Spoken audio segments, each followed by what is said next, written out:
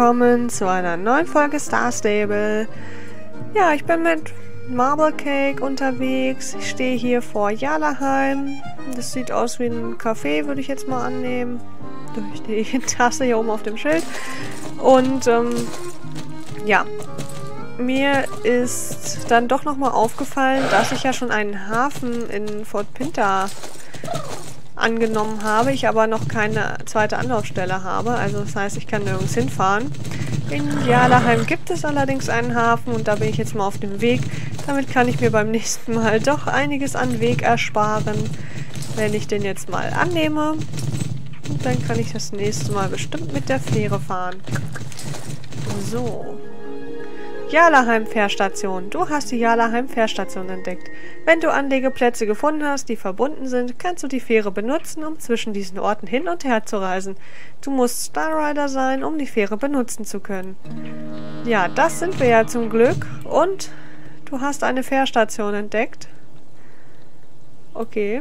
Könnte ich diese denn jetzt benutzen? Hier glitzert's. Okay, also hier wird nichts nicht in Betrieb auf hoher See nicht in Betrieb. Also es gibt anscheinend drei Fähren. Die Linie 2 habe ich anscheinend entdeckt, und da wird mir wenigstens was angezeigt. Sieht man das auf der Karte? Da bin ich. Ja, irgendwo unterwegs anscheinend. Na gut, jetzt möchte ich sowieso nicht wegfahren. Jetzt werden erstmal Quests gemacht. Stein hat ja noch Quests und dann gibt es noch im Jalaheim-Quest. Da sollten wir Jack auch noch weiterhelfen. Das kommt dann aber später. Er müsste jetzt erstmal kurz warten, bis wir im Jorikstall fertig sind. Ja, aktuell läuft die zweite Woche des Tag des offenen Stalls. Ja, ich bin mal gespannt, was nächste Woche für ein Update kommt. Ich habe da schon was ähm, ja, gehört. Möglicherweise könnte etwas ähm, kommen, worüber sich sehr viele Leute freuen würden.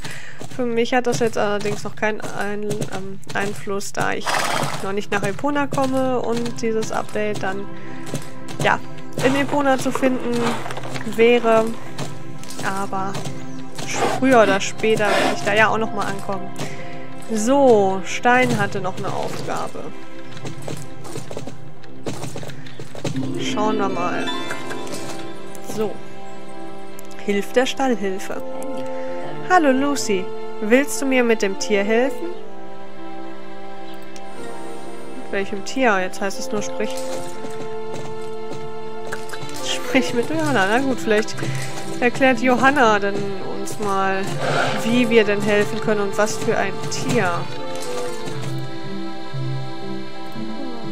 Du hilfst Stein also mit dem Tier?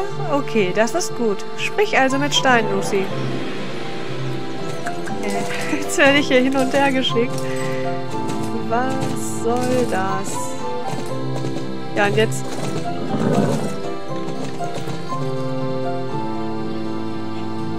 Okay. Das war kurz. Komme ich noch gar nicht zu. Naja gut, ähm, hier hinten soll noch was sein, da Johanna ja hier vorne beim blauen Punkt ist, müsste. Ja, direkt hier hinter der Mauer steht noch jemand. Barbara, mal sehen, was sie für uns hat. Hey, du bist neu hier, oder? Schön, dich kennenzulernen. Ich bin Barbara und ich leite den Wettbewerb des Jorvik-Stalls. Wir sind sehr stolz darauf, obwohl, wie soll ich sagen, äh, eine Brücke ist kaputt, die Felder sind bebaut und die Strecke geht mitten durch die Koppel. Du verstehst, es gab bessere Tage für die Strecke.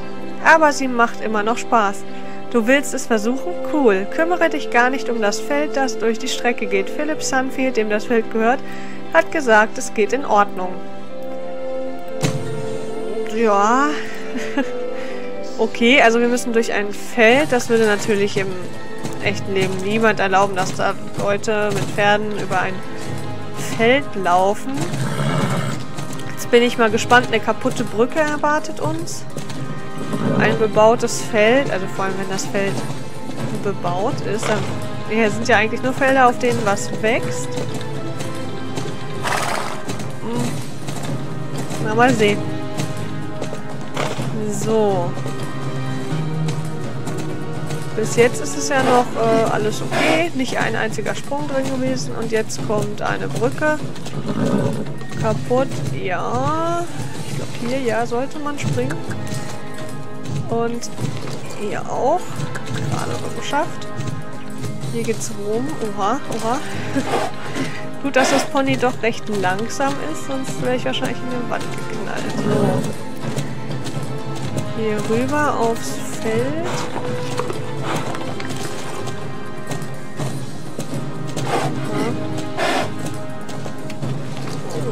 Gott, ich hab's geschafft. ich hätte jetzt gedacht, das endet so wie beim letzten Wettbewerb, den ich gezeigt habe, der ja irgendwie eine ganze Folge eingenommen hat. Aber bis jetzt.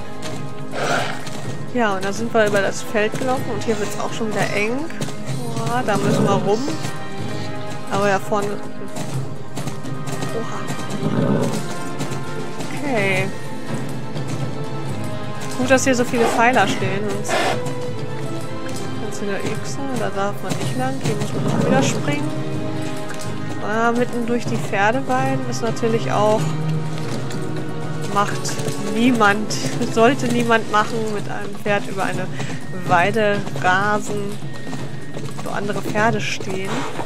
Wenn die dann durchgehen, kann das ziemlich blöd enden. So, jetzt könnten wir langsam, ja, wir kommen wieder zurück zu Barbara.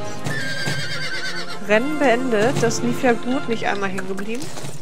Ich bin begeistert. gut geritten, sehr schnell naja, schnell. Aber immerhin. Ich muss mal gucken. Ruf. Ich brauche ja noch Ruf. Beim Jorvik-Stall 50 Punkte machen. Also kriege ich das? Ich würde gerne bei Stein jetzt weitermachen, aber so müsste ich wahrscheinlich, ich glaube, Ruf gibt es auch über die Stallarbeiten, wenn ich das richtig mitbekommen habe. Ich weiß aber nicht, wie viel. Guck ich mal. Jobangebot misse bei den Pferden aus, Hermann. Ja, doch. Wenn ich die drei mache, dann habe ich die... Ja, gibt den Pferden Wasser. Das sind so die Dailies, die man täglich machen darf in den verschiedenen Stellen. Dazu gehört immer Füttern, Tränken, die Pferde und Ausmisten. Das habe ich schon ein paar Mal gemacht in ähm, Fort Pinter und im Moorlandstall. So, das. Hier kommt Futter rein in die kleinen. So, Wasser. Nochmal Futter. Hier ist das Nette, man muss gar nicht in die nächste Box. Man kann von hier aus das Futter reinpacken.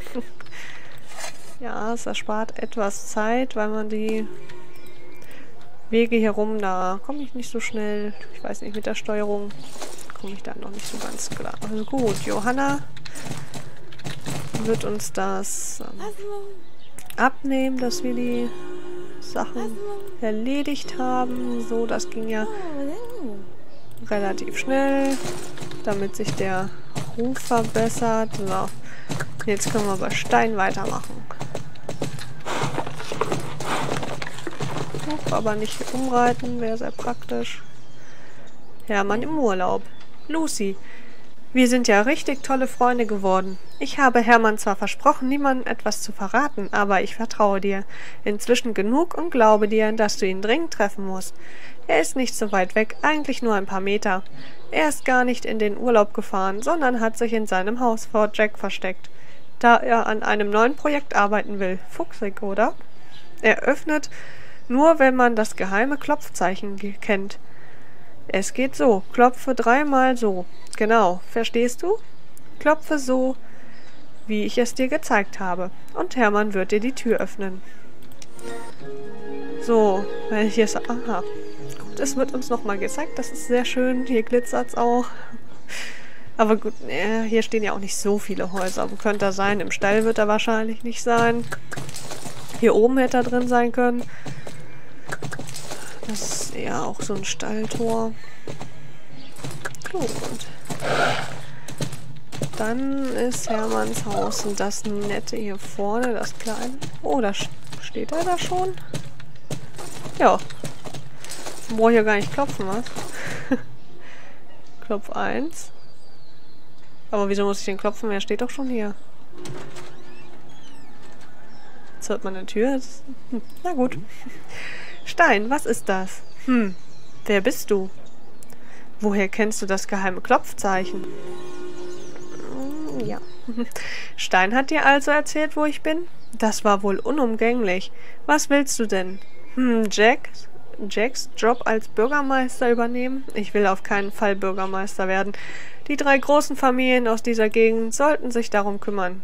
Ich kümmere mich um viel wichtigere Dinge. Es ist nichts, wie es scheint. Die GED hackt etwas aus. Warte, wir können, können hier nicht sprechen. Man weiß nie, wer zuhört. Komm mit und ich erzähle dir alles. Ähm, ja. Also angezeigt wird er noch hier. Ich denke mal... Ja, ich muss vom Pferd absteigen. Im Haus jetzt. Die GED mal wieder, das war ja klar. Wo hat die nicht ihre Finger mit im hm. Spiel? Kann ich dir vertrauen? Ich glaube schon. Es ist so, als würdest du eine besondere Kraft in dir tragen. Eine Kraft, die ich wiedererkenne. Ich werde dir vertrauen. Ich brauche nämlich Hilfe, ein Mysterium zu lösen. Wo ist Bürgermeisterin Evelyn? Ja, das fragen sich anscheinend hier alle. Zurzeit passieren viele kriminelle Sachen in der Erntefeld-Provinz, Lucy. Die GED arbeitet an einem geheimen Projekt. Du hast vielleicht schon gesehen, dass sie hier überall Proben nehmen. Das muss etwas mit dem Verschwinden der Bürgermeisterin Evelyn zu tun haben. Alles hängt zusammen, aber leider habe ich keine Beweise. Deswegen brauche ich deine Hilfe. Also, Lucy, irgendwie hat es die GED geschafft, eine Erlaubnis zu be Erlaubnis bekommen, in Jalaheim nach Mineralien zu suchen. Wie sie die Erlaubnis bekommen haben, weiß ich nicht, doch es kann nicht mit rechten Dingen zugegangen sein. Sie stecken garantiert hinter dem Verschwinden der vom Bürgermeisterin Evelyn, aber ich weiß nicht genau wie. Die Chefin der GED hier in Jalaheim ist eine gewisse Frau Drake, die wir auf, aus dem Weg, die, die mir immer aus dem Weg geht. Okay. Dich kennt sie jedoch nicht. Weißt du, worauf ich hinaus will? Wenn du ihr Vertrauen gewinnst, kannst du sicher mehr herausfinden. Willst du dabei helfen, herauszufinden, was die GED in der Erntefeld-Provinz treibt? Was wollen sie nur und stecken sie hinter Evelyns Verschwinden? Machst du es mit? Gut. Sprich mit Frau Drake und versuche einen Job bei ihr zu bekommen. Viel Glück. Hm. Ungern, muss man ja sagen. Mit der GED möchte ich eigentlich... Na, komm. Mit der GED möchte ich eigentlich nicht so viel zu tun haben. Na gut. Auf nach Jalaheim.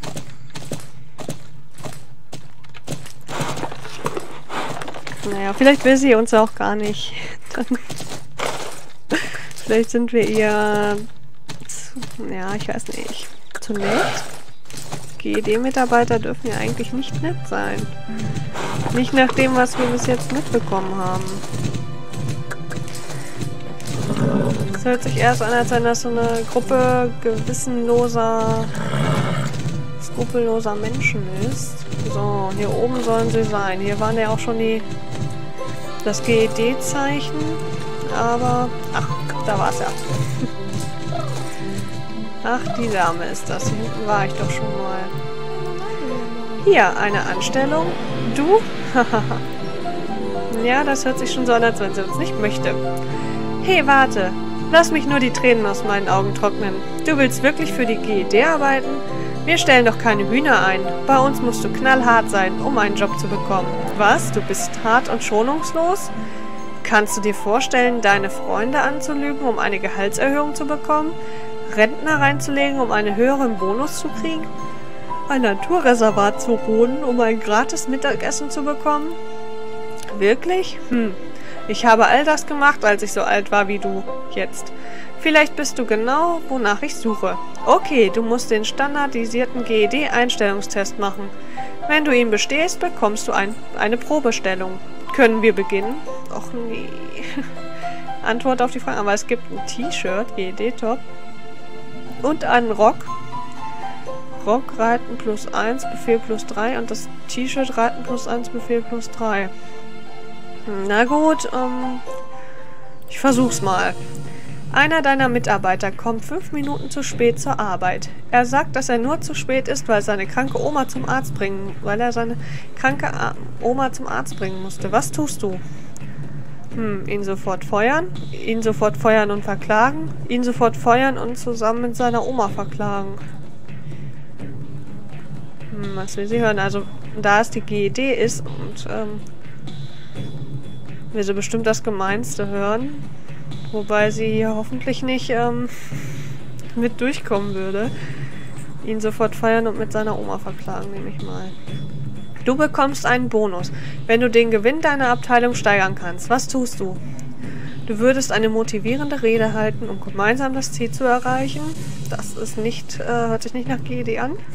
Du feuerst die Angestellten, um den Gewinn aufgrund weniger Gehälter zu steigern. Das eher. Du arbeitest besonders fleißig und hilfst den anderen Mitarbeitern. Das ist schon wieder, hört sich nicht nach GD an. Also, ja. Nehmen wir mal das Feuer. Eine alte Farm scheint direkt über eine Ansammlung von Mineralien zu stehen. Wie kommst du an die Mineralien? Du bietest dem Besitzer einen fairen Preis für die Farm an. Hm, das ist schon wieder, hört sich gar nicht nach GED an. Du überzeugst den Besitzer, dass der Abbau von Mineralien Jobs erschafft. Hört sich irgendwie auch nicht nach äh, GED an. Und du vergiftest die Farm, sodass sie unter Quarantäne gestellt wird und du sie bi dann billig kaufen kannst. Na, das ist doch... Hört sich sehr nach GED an. Was ist deine Lieblingsfarbe? Grün wie Geld, rot wie die Liebe, blau wie das Meer und der Himmel. Ja, der GED geht es immer nur ums Geld. Nehmen wir das mal. Mal sehen, ob wir bestanden haben. Oh, du bist zu einem perfekten Ergebnis gekommen. Ich habe noch nie so jemand Skrupellosen wie dich getroffen, Lucy. Dass das wirklich stimmt? Dass das wirklich stimmt? Ha? Herzlichen Glückwunsch. Das war wirklich super. Ich werde dir alles beibringen, aber solltest du mich enttäuschen, werde ich dich bis ans Ende der Welt jagen.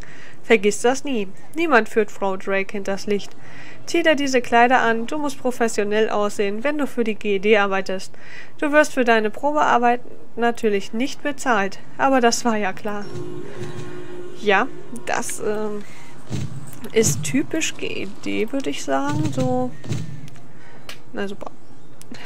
Gehen wir mal ein Stück zurück, damit sich hier nicht gleich wieder jemand ins Bild stellt, denn die Klamotten möchte ich mir jetzt wenigstens noch mal kurz ansehen. So, was haben wir denn? Das GED-Top ist weiß. Ja, die Werte haben wir schon gesehen. Zieh's mal an, so mit. Und den Rock dazu, das sieht... Also es passt zumindest zusammen, aber Rock, wie gesagt, auf Pferd trage ich ihn nicht gerne. Ja, ist aber ganz nett. Mal so zum Rumlaufen. Na gut. Dann würde ich aber sagen, war's das für heute und wir werden morgen sehen, was Frau Drake für Aufgaben für uns hat. Bis dann. Tschüss.